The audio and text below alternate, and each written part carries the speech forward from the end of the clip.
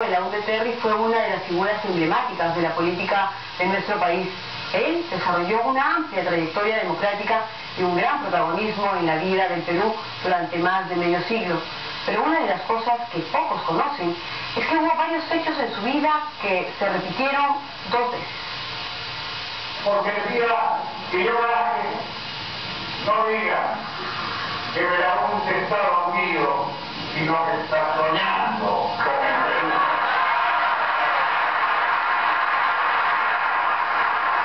¿Quién va a tener yo miedo a la inevitable muerte cuando sé que como peruano seguiré viviendo no por mis méritos, sino por los méritos de la ciudadanía en todos los corazones que le.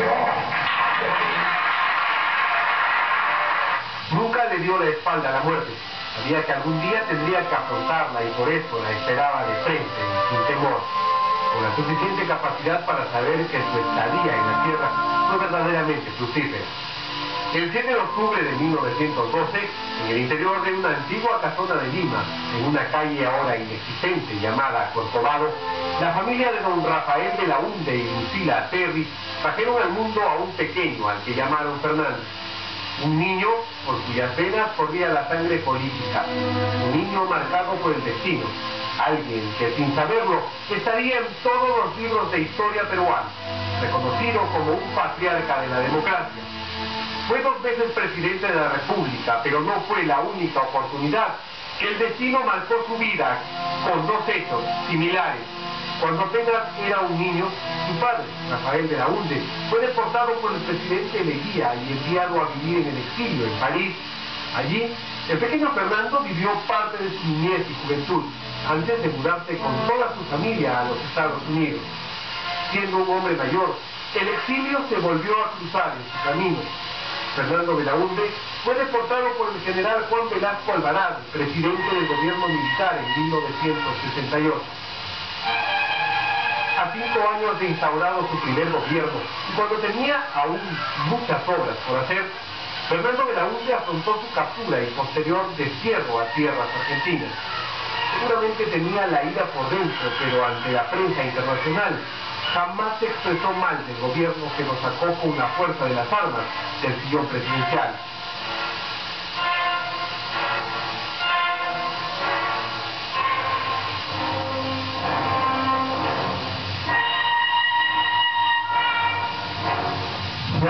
Ambiciones para detener el régimen constitucional que preside.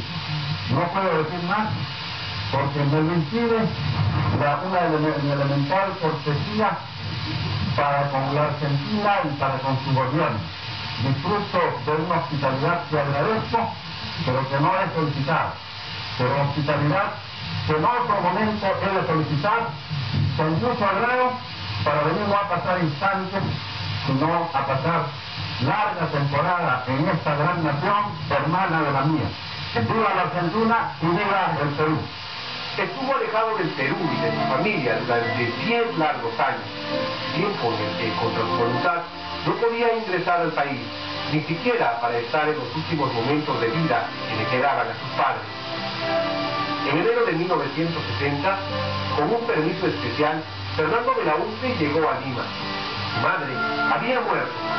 Él no pudo llegar al entierro. Bajo la atenta mirada de la prensa, mostró una fortaleza de espíritu inquebrantable. Fernando Belaúnde solo pudo dejarle unas flores y orar ante su tumba. Ese día fue también el último que pasó al lado de su padre. Volvió a su exilio y nuevamente, lejos del Perú y de su familia, se enteró de la muerte de su padre. Al igual que con su madre, no pudo acompañarlo en sus últimos días. El Perú seguía viviendo bajo el régimen militar, uno de los más largos de su historia. Pero ahí quedaban las obras que Belaúnde realizó en solo cuatro años. Él inició la construcción de la carretera marginal de la selva, hoy llamada Fernando Belaúnde Terry. Inauguró grandes complejos habitacionales como el de San Felipe en Jesús María.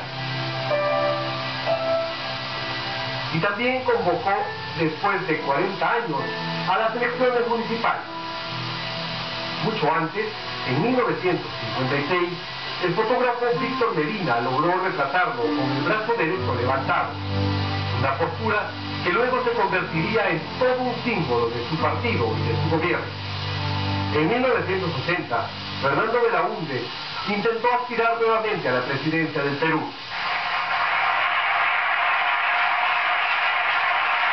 Es este peregrinaje el que nos ha llevado ayer al gobierno. Y es este pueblo el que nos llevará mañana de nuevo a la casa. Se enfrentaría en las urnas a otros dos líderes nacionales, Luis Bedoya Reyes y Armando Villanueva del Campo. La población decidió masivamente entregar el gobierno a Fernando Belaúnde Terry. Belaúnde, 42.4%. Villanueva, 27.5%. Bedoya, 11%. En esta hora de triunfo, solo tengo un pesar. Es no poder abrazar estrechamente, individualmente, a cada uno de ustedes.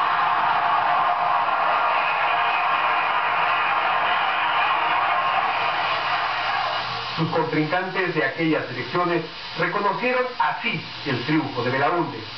¿A qué atribuye usted la gran votación obtenida por el arquitecto Fernando Belaúnde Terry en las elecciones del 18 de mayo? Usted le ha visto la sonrisa ahora. Nos ganó por pura simpatía.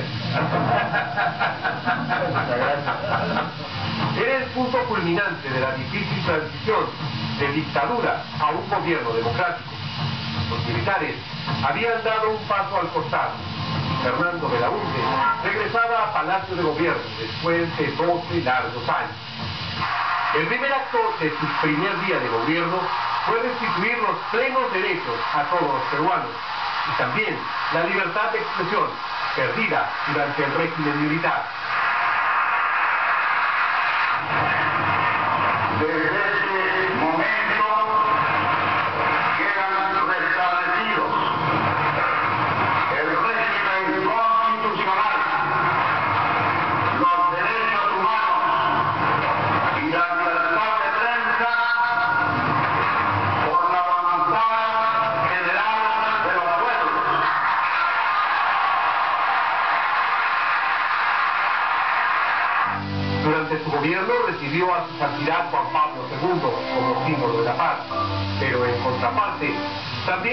También se inició el terror en el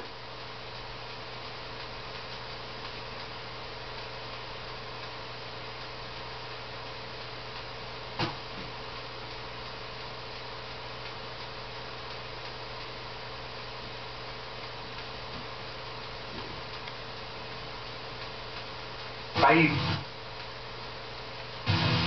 De previsión y seguridad interna permitió que Sendero Luminoso se convierta en una de las páginas más sangrientas de nuestra historia.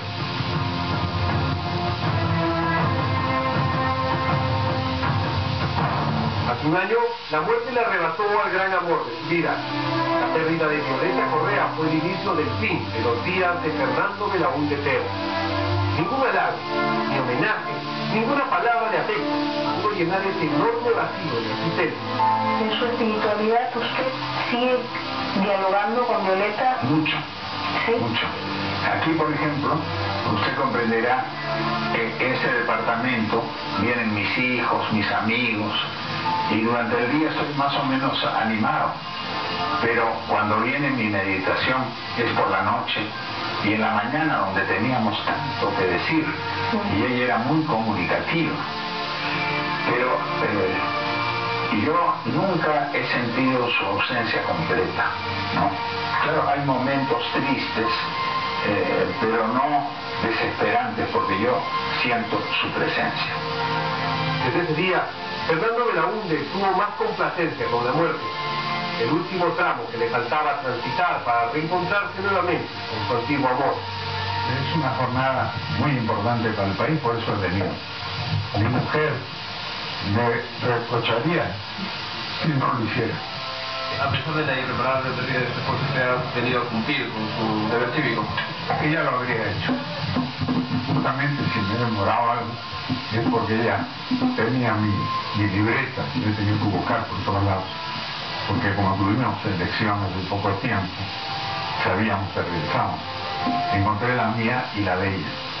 La de ella es ya una página volteada en la historia del Perú, pero generosamente apreciada por todos. Nunca le dio la espalda a la muerte.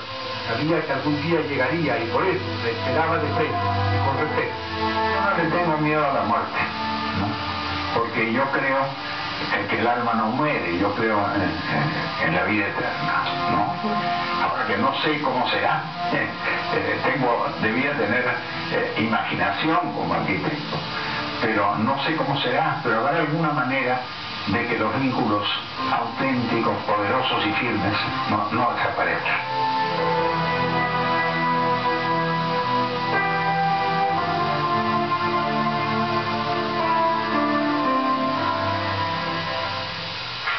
Y reiteramos que ante el fallecimiento de don Fernando Belaúnde Terry, el presidente Toledo ha declarado tres días de duelo nacional, siendo este jueves día feriado no laborable para aquellos que quieran participar del entierro del expresidente.